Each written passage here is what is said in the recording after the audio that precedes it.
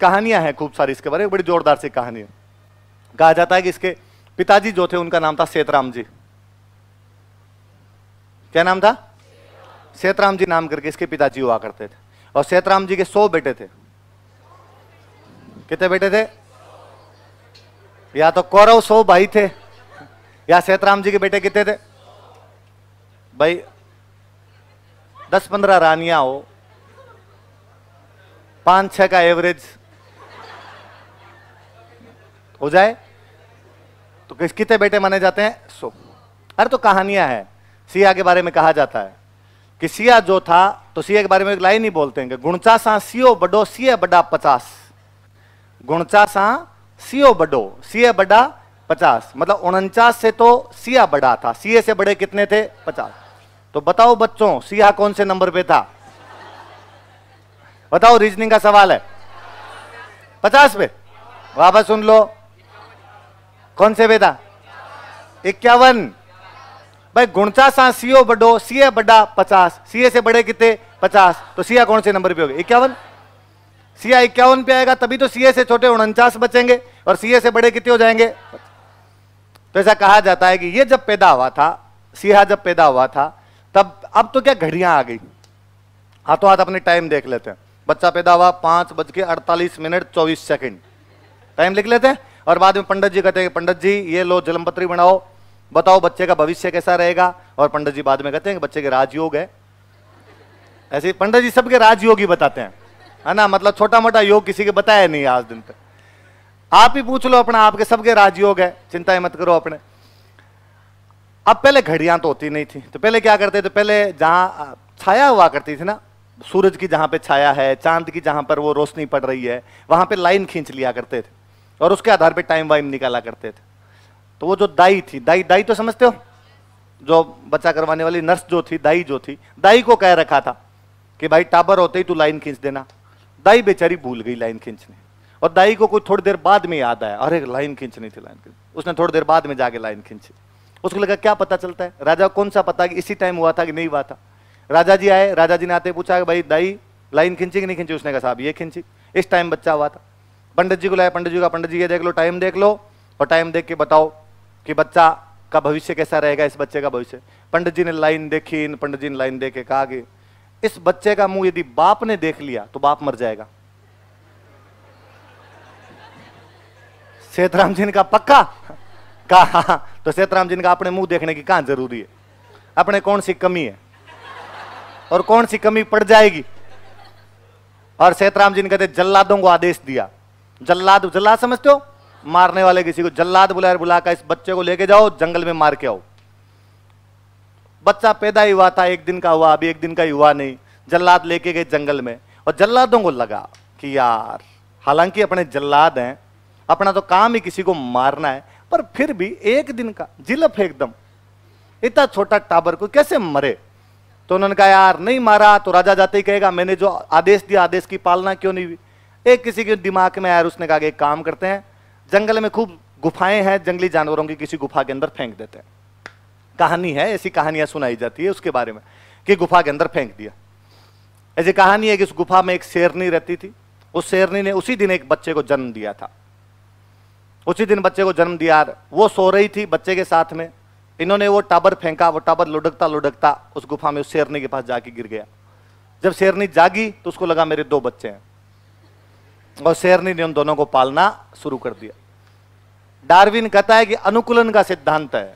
मनुष्य जैसे वातावरण में रहता है, उसी वातावरण को ग्रहण कर लेता है एडप्ट कर लेता है उसको। अब वो शेरों की तरह वैसे रहने लगे अब वो चारों हाथों से चले। ऐसे हाथ को भी उसने पैर बना लिए और वैसे चले और यूँ झपट्टे मारे, कच्चाई खा जाए किसी को।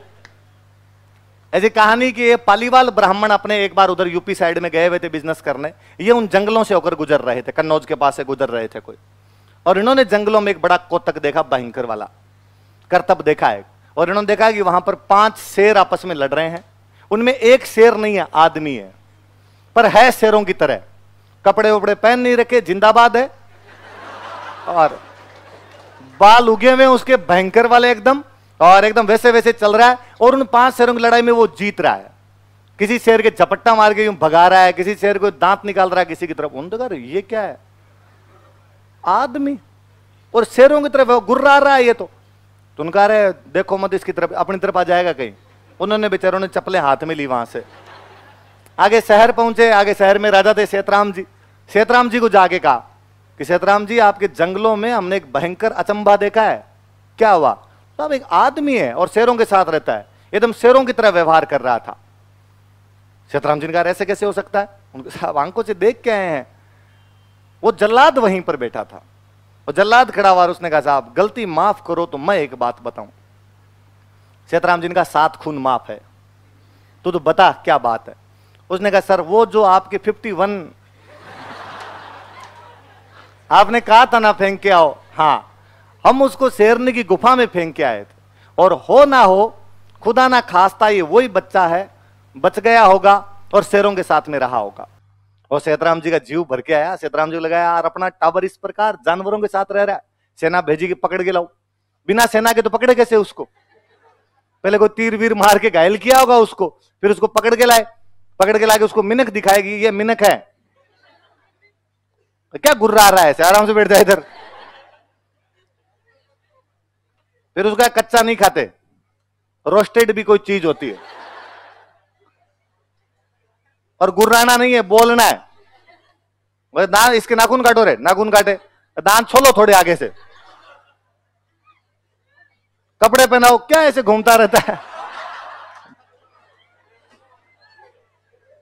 अब वो थोड़ा यूँ सेटल डाउन हुआ। वो पालीवाल ब्राह्मण आगे चले गए बिज़नेस करने गए थोड़े दिनों बाद पालीवाल ब्राह्मण वापस लौटे।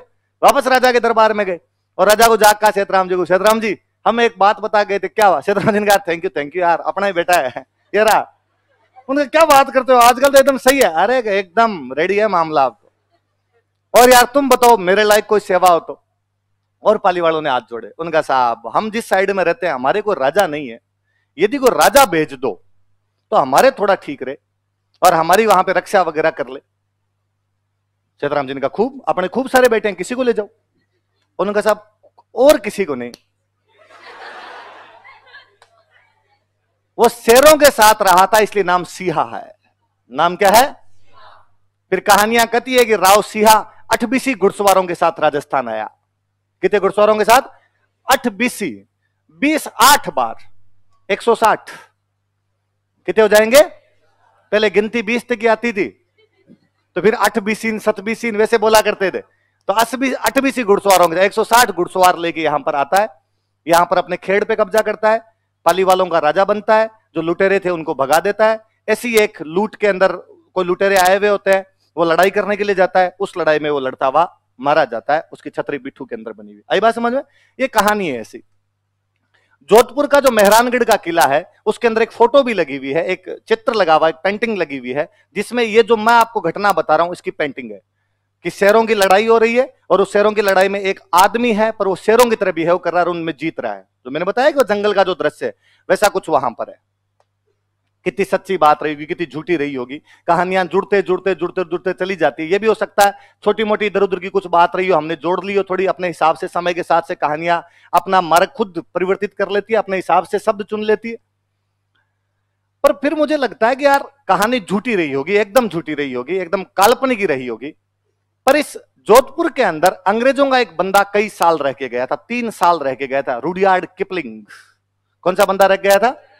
रुडियार्ड किपलिंग नाम का एक बंदा इस किले में तीन साल रह के गया था।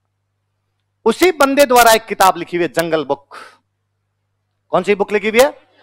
उस जंगल बुक के लिए उसको 1907 में नोबेल पुरस्कार मिला था, जो किसी भी अंग्रेज़ को साहित्य का पहला नोबेल पुरस्कार था। लिटरेचर के लिए फ़र्स्ट नोबेल किसी अंग्रेज़ को मिला था, रूडियार्ड किपलिंग है, जिनकी बुक का नाम था जंगल बुक। उस जंगल बुक के अंदर एक कैरेक्टर है, मोगली।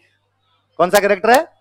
जो इसी प्रकार जंगल में पशुओं के साथ रहता है, पर मनुष्य है, पर पशुओं की तरह व्यवहार करता है।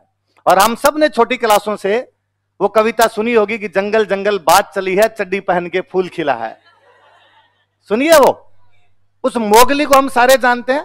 कालांतर में उस जंगल बुक पे मूवी बनाई गई, और मूवी ने भी खूब अवार्ड जीते। जहाँ तक मुझे याद आती है ऑस्कर ही जीत गई थी मूवी। हो ना हो, रुडियार्ड किपलिंग देख के जोधपुर में गया था ये। कहाँ देख के गया था कि उसने पक्का ये पेंटिंग देखी होगी और पेंटिंग देख के कहा होगा ये क्या है? अपने वालों को इनको नहीं जानते, बस। कैसे? ये हमारे सीओ जी है। तो तुम्हारा सीओ जी ऐसे जिंदाबाद और शेरों के साथ कैसे है? उनका साहब, शेरों के साथ रहे थे। बचपन से लेके इतने साल तक तो शेरों के साथ ही रहे थे। उनके साथ ही रहते थे, उनके साथ ही खाते थे शेरों को ठोकते और थे पकड़ पकड़ के। इसलिए हमारे तो सिया जी का नाम ही क्या है? सिया। अंग्रेज़ इंटेलिजेंट थे। उसने कहा यह प्लॉट अच्छा है। कहानी इस पर अच्छी बनाई जा सकती है। हमारी कहानी दुनिया बेच खाई, पुरस्कार जीत गई। मैं आपको पहली बार सुना रहा हूँ, आपने पहले नहीं सुनी होगी। हम मोगली को जानते हैं, हम रूडियार्ड किपलिंग को जानते हैं, हम जंगल बुक को जानते हैं, हम हमारे सिहा को नहीं जानते। किसको नहीं जानते? इस बार जब भी मोगली देखो तो मन ही मन गणा के सिया है।